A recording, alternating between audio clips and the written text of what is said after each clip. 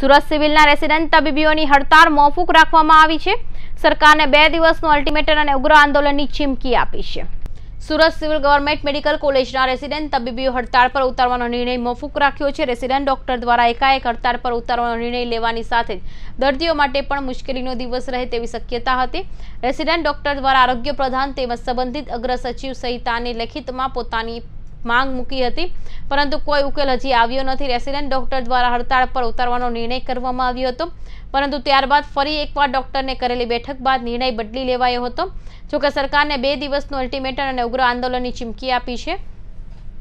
વર્ષ બે હજાર ઓગણીસની બેચની તબીબી વિદ્યાર્થીઓ દ્વારા પણ તેમની છત્રીસ મહિના રેસિડેન્સીમાંથી સૌથી વધુ સત્તર મહિના કોવિડની સેવા આપ્યા હોવાથી તેમને પણ બોન્ડ સેવામાં રાહત મળે તેવી માંગણી કરી હતી. આ મામલે વિવિધ સ્તરે રજૂઆત પણ કરી હતી. પર કોઈ હકારાત્મક પ્રતિસાદ ન મળતા આખરે રેસિડેન્ટ તબીબીઓ હડતાળ પર ઉતરવાનો નિર્ણય લેવાયો હતો.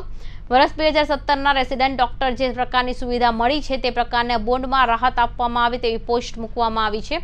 સિનિયર રેસિડેન્ટ ડોક્ટરને જિજ્ઞેશે જણાવ્યું કે અમે સૌ ડોક્ટર દ્વારા આજે હડતાળ ઉપર ઉતરવાનો નિર્ણય કર્યો હતો, પરંતુ ફરી એક વખત બેઠક કરી અને નિર્ણય મફૂક રાખવાનું વિચાર્યું છે. સરકારને અમે બે દિવસનું અલ્ટિમેટમ આપી રહ્યા છીએ. બે દિવસમાં અમારો પ્રશ્નનો ઉકેલ નહીં આવે તો સીધા ગાંધીનગર જઈને ઉગ્ર આંદોલન કરીશું. રેસિડેન્ટ ડોક્ટરો પોતાની માંગણી કરે છે, છતાં પણ સરકાર દ્વારા તેને ગંભીરતાથી લેવાની રહેતી નથી. અરે મારું નામ ડૉક્ટર જિગ્નેશ ગેડી હું પલ્મનરી મેડિસિન ડિપાર્ટમેન્ટની સિનિયર રેસિડેન્ટ તરીકે ફરજ બજાવું છું.